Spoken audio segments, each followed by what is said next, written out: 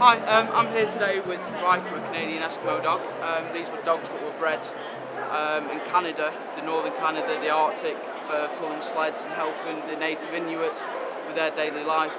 Um, they were used for hunting, holding polar bears at bay, pulling seals back to camp um, and moving families across the ice. He, he, lives at home with me.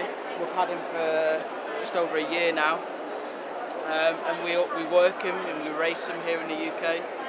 Um, so we attend training classes um, to teach him his command. What do you race on? Um, I've got a bike and we've also got a rig. Um, I don't know if you can see it. It's a rig, so it's like a dryland sled with wheels. Um, and we race up and down the country. They're not the best pet dogs in the house at all. They're very high maintenance, very high energy. But they are very affectionate and very loyal, but they need that stimulant, not just physical, but mental stimulants as well. Um, there's not many of them in the UK. There's no more than 80 to 100. Um, yeah, it's, it's great stuff really.